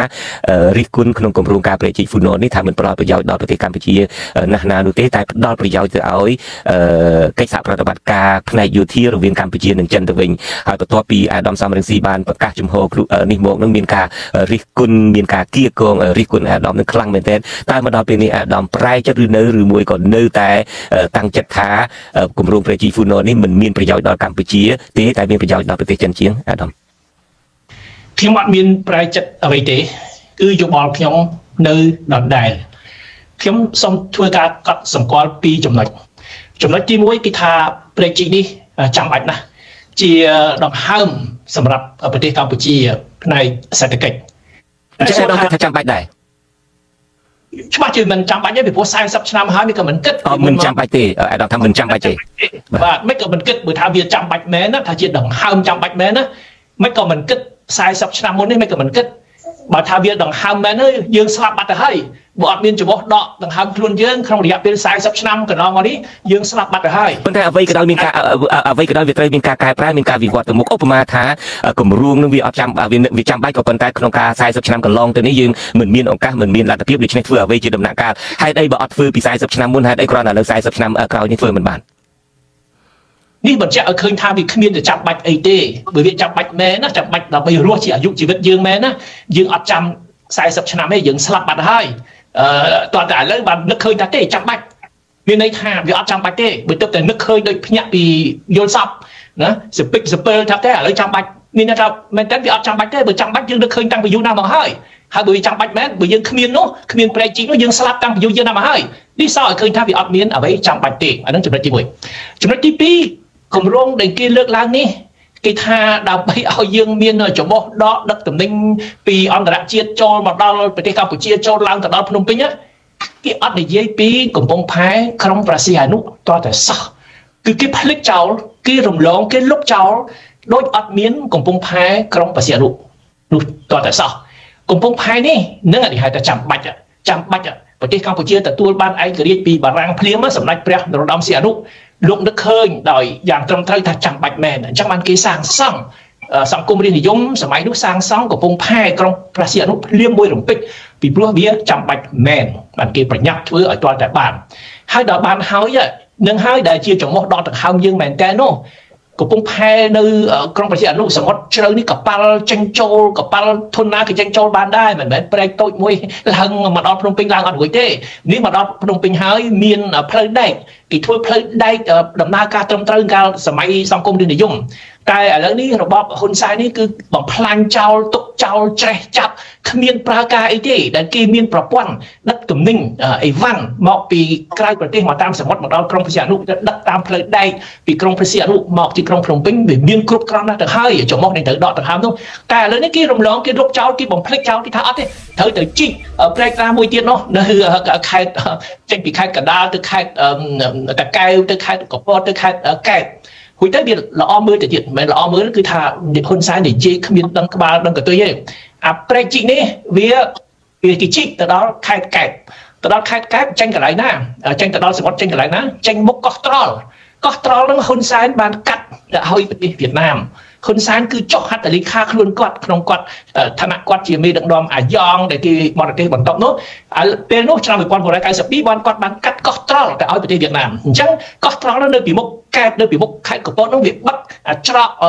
ចេញចូលនឹងទៅហើយព្រែកជីកនេះចេញទៅតាមកែបប៉ុន្តែចេញទៅសមុទ្រអន្តរជាតិអត់កើតទេវាទឹះវាទឹះកោះត្រល់ហ្នឹងអត់និយាយរឿងកោះត្រល់ក៏អត់និយាយរឿងកំពង់ផែកំពង់សោមកំពង់ផែព្រះសីហនុអត់និយាយ ទើបតែនឹកឃើញជីកប្រែកអីណាថ្មីចេះអីវ៉ាន់ប្រដាប់ប្រដាដែលយើងមានទ្រព្យសម្បត្តិដែលយើងមានពីមុនមកអត់ចេះថែរក្សាអត់ចេះថែរក្សាខ្ជះខ្ជាយខ្ទេចខ្ទីច្រេះចាប់ស្រាប់តែនឹកឃើញថាទេឥឡូវត្រូវទៅជីកប្រែកថ្មីមួយភ្លេចចោលខូចខាតបោះបង់ចោលអ្វីដែលយើងមានស្រាប់ដូចជាក្រុងកំពង់ផែក្រុងបសិអនុហើយនឹងផ្លូវដែកពីក្រុងបសិអនុមកទីក្រុងភ្នំពេញនិយាយសរុបទៅមានន័យថាអ្វីដែលគេលើកជាហេតុផលថាត្រូវតែជីកប្រែក ជីកនេះចាំបាច់ពេលនេះគឺมันអាចมันអាចឲ្យតម្លៃมันអាចជឿជាក់បានតតែសោះព្រោះវាអត់ logic និយាយមុនមុននោះវាអត់ស្របណាទៅទៅនឹងអ្វីដែលស្ថានភាពជាក់ស្ដែងពេលនេះបាទអរគុណអាដាមវិជ័យជំហរអាដាមនៅដដែលថាវាមិនចាំបាច់ទេព្រោះវាចាំបាច់នឹង40ឆ្នាំមកហើយនឹងវាមានគម្រោងសាងសង់រួចទៅហើយគាត់តែចង់បញ្ជាក់ជូនលោកនាងកញ្ញាដែលកំពុងតាមដានស្ដាប់ការផ្សាយរបស់យើងនេះឱកាសនេះគម្រោង Preji Funo នេះនឹងត្រូវខ្ចីលុយចិនមួយដុំ1.7ពាន់លានដុល្លារសហ រដ្ឋ ដ្ឋអាមេរិកហើយខ្ចីនេះគឺក្រុមហ៊ុនឯកជនមួយរបស់ចិននឹងជាអ្នកធានាខុសត្រូវក្នុងការសាងសង់ដោយខ្ចីលុយពីប្រទេសចិនក្រោមគម្រោង Belt and Road Initiative របស់ចិននឹងខ្សែក្រវ៉ាត់ហើយនឹងផ្លូវគម្រោងខ្សែក្រវ៉ាត់នឹងផ្លូវរបស់ប្រទេសចិននេះហើយការសាងសង់នេះតាមរបៀបមួយដែលអក្សរកាត់ភាសាអង់គ្លេសថា BOT Build Operate and Transfer ក្រុមហ៊ុនចិនសាងសង់ហើយហើយ operate ទៅគឺមានន័យថារកស៊ីទៅអស់រយៈពេល50 60ឆ្នាំទៅតាមកុងត្រានឹងទៅហើយ transfer ក៏ប្រគល់មកឲ្យប្រទេសកម្ពុជាវិញដូច្នេះបើសិនជាសាងសង់ហើយក៏ដោយចុះក៏នឹងចិនរកស៊ីអស់មួយដុំកន្លះសតវត្សអីចឹងទៅបានប្រគល់យកមកឲ្យប្រទេសកម្ពុជាតាមប្រព័ន្ធ BOT Bill Operate and Transfer នេះឥឡូវនេះចូលក្នុងសាច់រឿងយើងវិញម្ដងខ្ញុំសួរអាយដាមនេះគ្រាន់តែបញ្ជាក់ចំហឡើងវិញទេក៏ប៉ុន្តែប្រធានបទយើងសំខាន់នឹងតកតងទៅនឹងប្រសាសន៍របស់លោកហ៊ុនសែនដែលថានឹងចង់ឲ្យសេដ្ឋកិច្ចរបស់កម្ពុជានឹងឯករាជ្យពីប្រទេសវៀតណាមមិនចង់តាក់ទងជំនួយឲ្យនឹងវៀតណាមទេដូច្នេះមុននឹងចាប់ផ្ដើមកិច្ចសន្ទនាអំពីរឿងនេះខ្ញុំបាទចង់ចាក់ប្រសាសន៍របស់លោកហ៊ុនសែនត្រង់នេះបន្តិចសិនបាទព្រោះយើងជាមួយវៀតណាមកំពុងតែចរាចរណ៍ទៅវិញក្នុងទំហំពាណិជ្ជកម្មទ្វេភាគី1000លានដុល្លារមកដល់1000លានដុល្លារឥឡូវរវាងវៀតណាមនិងកម្ពុជាទំហំពាណិជ្ជកម្មគឺប្រហែលប្រហែលគ្នាយើងនាំចេញទៅវៀតណាមកាន់តែច្រើនយើងនាំចូលពីវៀតណាមក៏មានទំហំកាន់តែច្រើន ពីមុនយើងនាំចូលពីវៀតណាមច្រើនជាងនាំចេញឥឡូវមានតរយៈភាពតរយៈភាពយើងអត់ត្រូវការធ្វើជាត្រូវត្រូវការធ្វើជាមិត្តហើយចង់ជឿថាវៀតណាមក៏ចង់ឲ្យកម្ពុជាឯករាជ្យដែរ បាទបើតាមប្រសាសន៍លោកហ៊ុនសែនថាការនាំចេញនាំចូលរវាងផលិតផលពីប្រទេសទាំងពីរនេះសឹងតែមានមានតុល្យភាពទៅហើយបើតាមស្ថិតិចុងក្រោយនៃឆ្នាំ2023ការនាំចេញទំនិញពីប្រទេសកម្ពុជាទៅប្រទេសវៀតណាមនឹងគឺមានតម្លៃជាទឹកប្រាក់ម្ដុំជិត3000លានដុល្លារសហរដ្ឋអាមេរិកហើយការនាំចូលពីប្រទេសវៀតណាមមកវិញនឹងមានទំហំទឹកប្រាក់ម្ដុំ3.5មានន័យថា3000លានដុល្លារកន្លះពីប្រទេសវៀតណាមមកគឺថាសឹងតែផាកផែលគ្នាហើយឥឡូវនេះនៅពេលដែលប្រទេសកម្ពុជានឹងកំពុងតែមានគម្រោងសាងសង់ប្រជិតទេជួនេះវៀតណាមនឹងក៏ហាក់ដូចជា មានការអន់សុពន្ធចិត្តដែលនឹងសម្បើមហើយឧបមាថាបើសិនជាគម្រោងសាងសង់ប្រជិតនេះបានសម្រេចទៅហើយវៀតណាមនឹងលែងមានតំណែងតំណងអីខឹងគ្នាមែនតើអីអីចឹងទៅថាតើកម្ពុជានឹងនឹងអាចមានឯករាជ្យភាពនឹងអាចលែងខាត់ខាត់បងច្រើនទេនៅពេលដែលកម្ពុជានាំចេញទៅម្ដុំសឹងតែ3000លានដុល្លារសហរដ្ឋអាមេរិកនោះក្នុងមួយឆ្នាំមួយឆ្នាំមិនសូមបញ្ជាក់ឡើងវិញការនាំចេញទៅនឹងភាគច្រើនជាផលិតផលកសិកម្មនាំចេញទៅប្រទេសវៀតណាមហើយនាំពីប្រទេសវៀតណាមចូលមកវិញជាគ្រឿងសំណង់គ្រឿងឧស្សាហកម្មជាដើមខ្ញុំបាទចង់ចាប់ផ្ដើមសំណួរនេះទៅលោកបណ្ឌិតសេងសេរីវិញបាទបាទសូមអនុញ្ញាតជម្រាបសួរលោកជនច័ន្ទបុតហើយសូមជម្រាបសួរអេដាមសំណាស៊ីផងបាទខ្ញុំខ្ញុំបើយើងមើលពីមុំសេដ្ឋកិច្ចយើងមើលទំហំពាណិជ្ជកម្មរវាងកម្ពុជាវៀតណាមដោយអ្វីដែលលោកអតីតនាយករដ្ឋមន្ត្រីហ៊ុនសែនបានលើកឡើងអញ្ចឹង នេះក៏ជាតួលេខនៅក្នុងការសិក្សាស្រាវជ្រាវផ្នែកសេដ្ឋកិច្ចមួយដែលបង្ហាញថាតលយៈភាពនៃការនាំចេញនាំចូលវាស្ទើរតែផាគ្នារវាងកម្ពុជាវៀតណាមក៏ប៉ុន្តែអ្វីដែលសំខាន់ចំណុចមួយទៀតដែលយើងគួរតែពិនិត្យដែរហ្នឹងគឺការនាំចេញទៅក្រៅប្រទេសមានន័យថាយើងប្រើប្រាស់កំពង់ផែវៀតណាមហ្នឹង បាទយើងលែងឮពីលោកបណ្ឌិតសេងសេរីហើយប្រហែលជាមានបញ្ហាបច្ចេកទេសពីចម្ងាយមកឥឡូវនេះយើងនឹងព្យាយាមភ្ជាប់លោកបណ្ឌិតសេងសេរីឡើងវិញក៏ប៉ុន្តែអាដាមសំរិទ្ធស៊ីអាដាមមានទស្សនៈបែបណាដែលជុំវិញរឿងបញ្ហាពាណិជ្ជកម្មរវាងកម្ពុជានិងវៀតណាមនេះកម្ពុជាអាចនឹងលែងត្រូវការទីផ្សារវៀតណាមនឹងដែរទេហើយបើសិនជាអត់ទីផ្សារវៀតណាមនឹងវាយ៉ាងម៉េចដែរអាដាមយើងត្រូវបែងចែកឲ្យដាច់ពីរផ្នែកនៃការនាំចេញទៅប្រទេសវៀតណាមមួយផ្នែកគឺលក់ឲ្យប្រទេសវៀតណាមប្រើប្រាស់ នៅប្រទេសវៀតណាមមួយផ្នែកទៀតគឺនាំចេញបន្តទៅប្រទេសដទៃទៀតគ្រាន់តែឆ្លងកាត់ទេគ្រាន់តែឆ្លងកាត់ប្រទេសវៀតណាមហើយនាំចេញតទៅទៀតទៅអាមេរិកទៅជប៉ុនទៅអីដូចយើងឃើញរោងចក្ររោងចក្រកាត់ដេរនៅខេត្តស្វាយរៀងនៅតំបន់បាវិតនោះរោងចក្រហ្នឹងគេនាំអីវ៉ាន់ចេញទៅប្រទេសវៀតណាម ប៉ុន្តែមិនមែនប្រើប្រាស់នៅប្រទេសវៀតណាមទេគឺនាំចេញតទៅទៀតគាត់ទៅឆ្លងកាត់ប្រទេសវៀតណាមទៅនាំចេញទៅលក់នៅប្រទេសទី3ទី4ទី10ណានៅទ្វីបអឺរ៉ុបនៅទ្វីបអាមេរិកអញ្ចឹងហើយបានកុំច្បុកច្បល់បើយើងច្បុកច្បល់ទេយើងមិនសូវយល់ច្បាស់ទេអញ្ចឹងអាទំនិញដែលនាំចេញរឿងអីចាំបាច់ទៅឆ្លងកាត់ប្រទេសវៀតណាមយើងមានកំពង់ផែក្រុងបសិនុគួរណាស់ប្រើប្រាស់កំពង់ផែក្រុងបសិនុទៅបញ្ហាមែនតើគឺដោយសារវាពុករលួយ អ្នករកស៊ីអត់ចង់នាំចេញតាមកំពង់ផែក្រុងបរសៀននោះទេពីព្រោះធ្វើការមិនប្រសិទ្ធភាពការិយាល័យនិយមស៊ីសំណោកហើយវាសហុយសហុយចេញតាមកំពង់ផែក្រុងបរសៀននោះគឺវាធ្ងន់ពេកដោយសារអំពើពុករលួយក្រមរបស់ហ៊ុនសែនណា អញ្ចឹងបញ្ហាមិនមែនត្រូវជីកផ្លែកអីណាថ្មីទេត្រូវបំបត្តិអំពើពុករលួយធ្វើឲ្យកំពង់ផែក្រុងបរសៀននោះនឹងគឺដំណើរការឲ្យបានល្អឲ្យមានដំណាភាពកុំឲ្យវាថ្លៃជាងកំពង់ផែនៃប្រទេសដទៃទៀតទៅដោះស្រាយរឿងហ្នឹង ហើយទី2ដោយសារផ្លូវដឹកជញ្ជូនទាំងផ្លូវថ្នល់ផ្លូវរថយន្តទាំងផ្លូវដែកនៅស្រុកយើងវាយ៉ាប់យ៉ឺនពេកអញ្ចឹងហើយបានគេទៅសង់រោងចក្រនៅខេត្តស្វាយរៀងនៅជាប់ព្រំប្រទល់ដែនវៀតណាមទៅចាត់ថានាំចេញទៅប្រទេសវៀតណាមមិនមែនទេគាត់ទៅឆ្លងកាត់ប្រទេសវៀតណាមទេពីព្រោះស្រុកនៅស្រុកគេវាមានផ្លូវទូរគមនាគមន៍តាក់ទងគ្នាងាយគេថោកស្រុកយើងវាយ៉ាប់យ៉ឺនផ្លូវថ្នល់ចេះតែខូចធ្វើអត់ចប់ជួសជុលចោះជួសជុលឡើងអញ្ចឹងបានបញ្ហាមែនទែនបញ្ហាផ្ទៃក្នុងការគ្រប់គ្រងប្រទេសអំពើពុករលួយមួយហើយហេដ្ឋារចនាសម្ព័ន្ធយើងរជីករយៈមិនមិនថែរក្សាមិនជួសជុលឲ្យបានត្រឹមត្រូវអានោះវាតាក់ទងរឿងអំពើពុករលួយអញ្ចឹងហើយអញ្ចឹងបើថាជំងឺជំងឺយើងនេះដែលហ៊ុនសែនលើកថាស្អីណាត្រូវតលយៈភាពមិនតលយៈភាពគាត់ច្បុកច្បល់ទាំងអស់មិនបែងចែកអាតំណែងដែលយើងលក់ឲ្យប្រទេសវៀតណាមដែលគេប្រើប្រាស់នៅប្រទេសវៀតណាមអានោះទៅមួយផ្នែកទេមួយផ្នែកតូចទេប៉ុន្តែតំណែងច្រើនជាងគេគឺគ្រាន់តែឆ្លងកាត់ប្រទេសវៀតណាមឯងដូច្នេះអាយដាមអាយដាមចង់មានប្រសាសន៍ថាបើសិនជាអត់មានវៀតណាមក៏ដោយចុះក៏នៅតែរកច្រកដើម្បីចេញទៅប្រទេសទី3ទី4ឬទី10ដែលអាយដាមមានប្រសាសន៍នឹងដែរ បាទគឺកំពុងផែក្រុងបាស៊ីអនុហ្នឹងបើយើងរៀបចំបំបត្តិអំពើពុករលួយធ្វើឲ្យដំណើរការបានល្អយើងអាចប្រកួតប្រជែងកំពុងផែក្រុងបាស៊ីអនុប្រកួតប្រជែងមិនចាញ់កំពុងផែនៅប្រទេសវៀតណាមនៅប្រទេសថៃនៅប្រទេសអីទេហើយដោយសារផ្លូវថ្នល់ដូចថាដឹកមកដល់កំពុងផែក្រុងបាស៊ីអនុវាអត់មានមកជួបបាយដឹកជញ្ជូនមកដល់ទីក្រុងភ្នំពេញអាផ្លូវដែកក៏ធ្វើឲ្យមិនដំណើរការវាចេះចាប់អត់ចេះគ្រប់គ្រងហើយអាផ្លូវថ្នល់ហ្នឹងក៏ខូចក៏មានមានបញ្ហាអញ្ចឹងអាបញ្ហាដែលត្រូវដោះស្រាយហ្នឹងគឺបញ្ហាផ្ទៃក្នុងប្រទេសកម្ពុជាទេយើងមានចំបោះដកហើយកំពុងផែប្រសិទ្ធអនុនោះប៉ុន្តែយើងវាមានអាជំងឺពុករលួយជំងឺអសមត្ថភាពធ្វើឲ្យទំនិញពិបាកចេញចូលតាមក្រុងប្រសិទ្ធអនុស្រាប់តែគេយកលេសថាឥឡូវត្រូវត្រូវជីកត្រូវជីកទៅជីកប្រេកប៉ុន្តែអារឿងជីកប្រេកណាមូលហេតុមិនមែនសេដ្ឋកិច្ចទេមិនមែនពាណិជ្ជកម្មទេអ្វីដែលហ៊ុនសែនលើកឡើងនិយាយនេះគឺដើម្បីបង្វែរដានដើម្បីបង្វែរដានលើករឿងពាណិជ្ជកម្មលើករឿងសេដ្ឋកិច្ចមិនមែនទេមូលហេតុពិតប្រាកដដែលគេចង់ជីកប្រេកនេះគឺជាមូលហេតុ យោធាមូលមូលហេតុយុទ្ធសាស្ត្រ យុទ្ធសាស្ត្ររបស់ប្រទេសចិនបំរើផលប្រយោជន៍ឬសេចក្តីត្រូវការរបស់កងទ័ពចិនរឿងយោធាអញ្ចឹងគ្មាននរណាល្ងងទៅតាមហ៊ុនសែនទៅទៅចែកហ៊ុនសែនអត់យល់អីទាំងអស់ខ្លួនឯងលើករឿងសេដ្ឋកិច្ចលើករឿងពាណិជ្ជកម្មប៉ុន្តែមិនព្រមលើកហេតុផលពិតប្រាកដណាដែលថាចិនណាបើមកជីកប្រេកឲ្យយើងណាទីមួយគេមិនស្រឡាញ់យើងឲ្យយើងតែទេគេមកគ្រប់គ្រងទាំងអស់គឺក្រុមហ៊ុនចិនកុំហៅថាក្រុមហ៊ុនឯកជននៅស្រុកចិនណាក្រុមហ៊ុនណាគឺស្ថិតនៅក្រោមការគ្រប់គ្រងរបស់គណៈបកកុម្មុយនីសចិនអញ្ចឹងក្រុមហ៊ុននេះគឺគណៈបកកុម្មុយនីសចិនអ្នកជំរុញណាគឺថ្នាក់ដឹកនាំកម្ពុជាប្រទេសចិនរបបចិនកុម្មុយនីសគឺជំរុញឲ្យជីកហើយមានខ្ញុំបានសង្កត់ប្រសាសន៍អាដាមទីអាដាមប្រហែលជាបានអានហើយកាលពីចុងសប្តាហ៍កន្លងទៅនេះ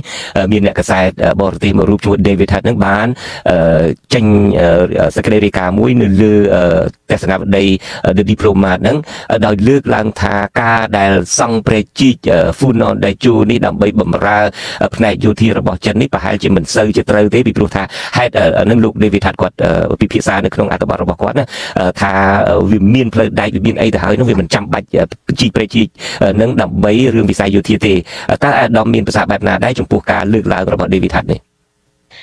ខ្ញុំមើលរបាយការណ៍ផ្សេងទៀតដែលគេសន្និដ្ឋានខុសពីអ្វីដែលលោកជុនច័ន្ទរតឡើងបាញ់មិញយើងមើលលើផែនទីចិនព្រោះចិនត្រូវដឹកអីវ៉ាន់ដឹកតំណែងដឹកគ្រឿងសស្ត្រាវុធដឹកពីប្រទេសចិនមកមូលដ្ឋានសឹករបស់ចិននៅរៀម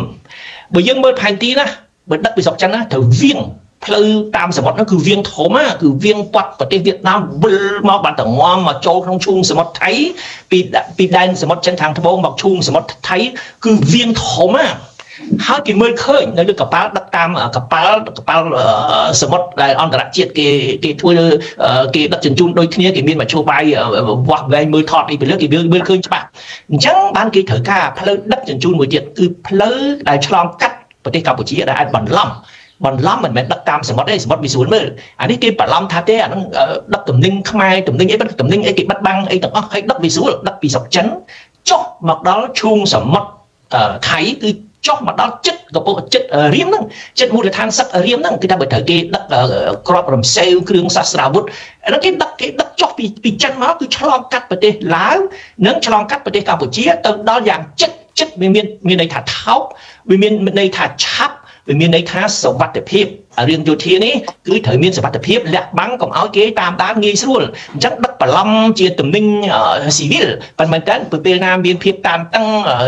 រឿងនយោបាយរឿងក្នុងភូមិសាស្ត្រយើងគឺគេត្រូវដឹកគេប្រើប្រេកជីនឹងគឺចុះពីទន្លេមេគង្គមកកន្លែងណាដែលមានទឹកធ្លាក់គេវៀងបន្តិចទៅទៅចុះមកប្រើទន្លេមេគង្គទៀតពីស្រុកចិនចុះមកដល់ភ្នំពេញហើយពីភ្នំពេញដោយសារមានប្រេកជីនេះគឺចុះមកដល់កែបហើយកែបគេដឹកតាមឆ្នេរសមុទ្រជាជានឹងទៅដឹកទៅដល់ទៅដល់រៀម ដឹងថាកប៉ាល់ធំធំចេញចូលអត់រួចទេអាប្រេកហ្នឹងអញ្ចឹងហ៊ុនសែនកុំផកុំនិយាយប្រេះផ្ដាស់ថាអាប្រេកជីកហ្នឹងដើម្បីមានដង្ហើមអីដឹកចូលតាមហ្នឹងអត់ទេកប៉ាល់ធំធំចេញចូលអត់រួចទេទៅវាបាំងកោះត្រល់របស់ប្រទេសវៀតណាមយើងចង់ថាយើងចង់ឯករាជ្យពីប្រទេសវៀតណាមប៉ុន្តែប្រទេសវៀតណាមនឹងគេគ្រប់គ្រងកោះ ត្រល់ដែលហ៊ុនសែនកាត់ទៅឲ្យវៀតណាមនោះវៀតណាមនោះគឺអាចខ្ទប់ចំពោះយើងនៅនៅនៅមុខកែបហ្នឹងនៅនៅច្រកដែលប្រេកជីកហ្នឹងទៅដល់ទៅដល់សមុទ្រហ្នឹងខំទៅជីកដល់សមុទ្រគឺចេញចេញទៅតាមសមុទ្រចេញមិនទាំងរួចសារកោះត្រល់អញ្ចឹងបាទថារឿងនេះយើងយើងយើងពិនិត្យឲ្យគ្រប់ជ្រុងជ្រោយទៅដឹងថាហ៊ុនសែនគាត់និយាយប្រេះផ្ដាស់ឲ្យគាត់មើលងាយប្រជារាស្ត្រខ្មែរណាស្របប្រជារាស្ត្រខ្មែរល្ងងមិនចេះវាស់វែងពីហេតុផលដែលខ្ញុំបានលើកឡើងអំបញ្ញបាទអាដាមតើបើសិនជាប្រជាជនហ្វូណននេះសាងសង់ហើយហើយបំរើផ្នែកយោធារបស់ចិននឹងមានន័យថាដឹកគ្រឿងយុទ្ធយុទ្ធឧបករណ៍អីជាដើមដោយប្រើប្រាស់ប្រជាជនហ្វូណននេះតើមានរឿងអីដែលត្រូវវៀតណាមភ័យព្រួយតើវាអាចជាការបង្កអាសន្នសុខមានការភ័យខ្លាចចំពោះការគំរាមកំហែងពីប្រទេសចិនដល់ប្រទេសវៀតណាមដែរទេឬមួយក៏ប្រជាជននេះបំរើឲ្យការដឹកយុទ្ធឧបករណ៍របស់ចិននឹងដើម្បីគម្រាមកំហែងនៅក្នុងតំបន់នេះទាំងមូលច្បាស់ហើយយើងឃើញថាជាផ្លូវការប្រទេសវៀតណាមអត់មានប្រតិកម្ម ខ្លាំងនិយាយចំចំទេតែគេឲ្យអង្គការក្រៅរដ្ឋាភិបាលរបស់គេអ្នកជំនាញអង្គការដែលជាជាអង្គការស៊ីវិលអង្គការមិនមែនជាអង្គការរដ្ឋាភិបាលអ្នកស្រាវជ្រាវគេលើកហេតុផលជាច្រើន គេថាការសម្រេចជីកប្រេកជីកហ្វូណននេះគឺធ្វើយ៉ាងតក់កផលអត់មានការសិក្សាស្រាវជ្រាវទេរឿងរឿងភូមិសាស្ត្ររឿងផលប៉ះពាល់បរិស្ថានបរិស្ថានរបបទឹកវាប្រែប្រួលយ៉ាងម៉េចអាប្រព័ន្ធទឹកនៅប្រទេសវៀតណាមមានលក្ខណៈយ៉ាងម៉េចយើងជីកប្រេកនេះតើវានឹងមានផលប៉ះពាល់យ៉ាងម៉េចលើប្រព័ន្ធទឹកលើប្រព័ន្ធអ្វីដែលគេធារាសាស្ត្រដែលគេមាននៅប្រទេសវៀតណាមស្រាប់ហើយវាវាវាប៉ះពាល់ដល់កម្រិតណាតែមិនអស់ទេអារឿងហ្នឹងជាគេអាចនិយាយពីជាចេញមុខគេអាចនិយាយជាផ្លូវការបានប៉ុន្តែរឿងដែលគេថាមានភាពរសើបគេថាហ៊ុនសែនឯងណាលុកប្រទេសកម្ពុជាឲ្យចិនហើយចិនជាសត្រូវរបស់ប្រទេសវៀតណាមគឺចិនគាត់គាត់ប្រទេសវៀតណាមគាត់ពីខាងជើងហើយ ឥឡូវគាត់ពីខាងលិចគាត់ពីខាងលិចគឺប្រទេសឡាវគាត់ពីខាងលិចហើយខាងត្បូងគឺប្រទេសកម្ពុជាអញ្ចឹងគឺរបបហ៊ុនសែននេះគឺរស់ដោយសារចិនដោយរបបប៉ុលពតអញ្ចឹងដែរហើយបើរស់ដោយសារចិនចិនទៀមទាអ្វីត្រូវឲ្យទៅចិនទាំងអស់អ្វីដែលចិនចង់បានជាងគេពេលនេះគឺប្រជិកនោះចឹងហើយបានអាមូលហេតុពិតប្រាកដអត់យកមកនិយាយទេយករឿងសេដ្ឋកិច្ចរឿងពាណិជ្ជកម្មយកមកនិយាយហើយនិយាយអត់សមហេតុសមផលទៀតត្រូវយករឿងរឿងយោធារឿងយុទ្ធសាស្ត្ររឿងដឹកជញ្ជូនគ្រឿងសាស្ត្រាវុធពីស្រុកចិនយ៉ាងឆាប់រហ័សពីចិនខាងត្បូងពីខេត្តចិននៅខាងត្បូងប្រទេសចិនហៅខេត្តយូណនចុះមកដល់ក្រុងកែបគឺក្រុងកែបនោះវាជាប់ខេត្តកពតវាជាប់កំពង់ផែវាជាប់វាជាប់មូលដ្ឋានសឹករៀមដែលចិនគ្រប់គ្រងរួចទៅហើយអញ្ចឹងវាវាត្រូវទន្ទឹមគ្នាចិនបានមូលដ្ឋានសឹកនៅរៀមហើយចិនត្រូវការអាប្រេកជីកនេះថែមទៀតពីព្រោះអាពីរហ្នឹងវាដំណើរការជាមួយគ្នា បាទអាដាមអឺទាំងអស់គ្នាដឹងហើយថាប្រទេសវៀតណាមនឹងធ្លាប់មានប្រវត្តិនឹងមិនល្អជាមួយខ្មែរនឹងប្រមាណទេមានតាំងពីការដណ្ដើមទឹកដីដណ្ដើមកោះដណ្ដើមទឹកដីកម្ពុជាក្រោមមានការបញ្ជូននិគមជននឹងមករស់នៅនឹងបណ្ដប្រមាណសតវត្សនៅប្រទេសកម្ពុជាមានប្រវត្តិសម្លាប់មានប្រវត្តិធ្វើបាបនឹងគឺថាមិនស្ទើរទេរហូតដល់ប្រទេសទាំងពីរនេះគឺថាមានប្រជាពលរដ្ឋនៃប្រទេសទាំងពីរនឹងហាក់ដូចជាមានគំនុំនឹងគ្នាស្រាប់ផងតើអាចជាការល្អទេនៅពេលដែលទីបំផុតទៅកម្ពុជាមានខ្នងបង្អែកដ៏ធំមួយគឺប្រទេសចិននេះដែលធ្វើឲ្យប្រទេសវៀតណាមនឹងចាប់ផ្ដើមខឹងសម្បាយជាដើមមានមានធម្មពលយោធាធម្មភាពយោធាឧត្តមភាពយោធាពីប្រទេសចិនផង មានការប្រេកជីកធ្វើណនេះដែលលោកនាយករដ្ឋអតីតនាយករដ្ឋមន្ត្រីហ៊ុនសែនប្រកាសថាវាអាចធ្វើឲ្យលែងពឹងផ្អែកដល់កំពង់ផែប្រទេសវៀតណាមផងអាចជាការល្អសម្រាប់ប្រទេសកម្ពុជាទេបើសិនជាវៀតណាមខ្លាចបែបនឹងហើយខ្លាចការនយោបាយប្រេកជីកនេះដើម្បីផ្ដល់នៅឧត្តមភាពយោធាឲ្យប្រទេសចិននេះវាល្អសម្រាប់ខ្មែរទេ យើងត្រូវមើលផលប្រយោជន៍ប្រទេសយើងហើយផលប្រយោជន៍ប្រទេសយើងប្រៀបធៀបទៅនឹងផលប្រយោជន៍ប្រទេសដទៃទៀត ហើយវាមានការវិវត្តជួនកាលផលប្រយោជន៍វាស្របជួនណាផលប្រយោជន៍វាផ្ទុយយើងមើលការវិវត្តនៃការតំណាក់តំណងរវាងប្រទេសមួយទៅប្រទេសមួយដូចជាប្រទេសវៀតណាមនិងសហរដ្ឋអាមេរិកវៀតណាមហើយសហរដ្ឋអាមេរិកធ្លាប់ធ្វើសង្គ្រាមរាប់សិបឆ្នាំស៊ីសាច់ហត់ឈាមគ្នាស្រាប់តែឥឡូវនេះវៀតណាមคล้ายទៅជាសម្ព័ន្ធភាពរបស់សហរដ្ឋអាមេរិក អញ្ចឹងហើយបើយើងត្រូវមើលផលប្រយោជន៍ការផលប្រយោជន៍ពីមុនវាវាផ្ទុយគ្នាវាខាក់គ្នាតែឥឡូវវៀតណាមហើយសហរដ្ឋអាមេរិកផលប្រយោជន៍ស្របគ្នាគឺទុកទល់កុំឲ្យចិនកុំនេះវៀតទីវាគ្រោះថ្នាក់ដល់ប្រទេសវៀតណាមផងគ្រោះថ្នាក់ដល់សហរដ្ឋអាមេរិកផងឥឡូវយើងមើលផលប្រយោជន៍កាលសម័យប៉ុលពតផលប្រយោជន៍ប៉ុលពតណាហើយនឹងផលប្រយោជន៍ប្រទេសចិនវាស្របគ្នាពីព្រោះប៉ុលពតគាត់សម្លាប់រាជរំលោភសិទ្ធិមនុស្សលោកសេរីកាត់កាលគាត់អញ្ចឹងគាត់ត្រូវតែអែបជាមួយចិនគាត់រស់ដោយសារចិន អានឹងហើយដែលដែលពលពតទៅបកុលវាសនាប្រទេសកម្ពុជាឲ្យទៅចិនឥឡូវវាទៅជាយ៉ាងម៉េចណាពលពតហ្នឹងក៏អន្តរាយហើយប្រទេសកម្ពុជាហ្នឹងដែលមានរឿងរ៉ាវដែលហ៊ុនសែនឲ្យ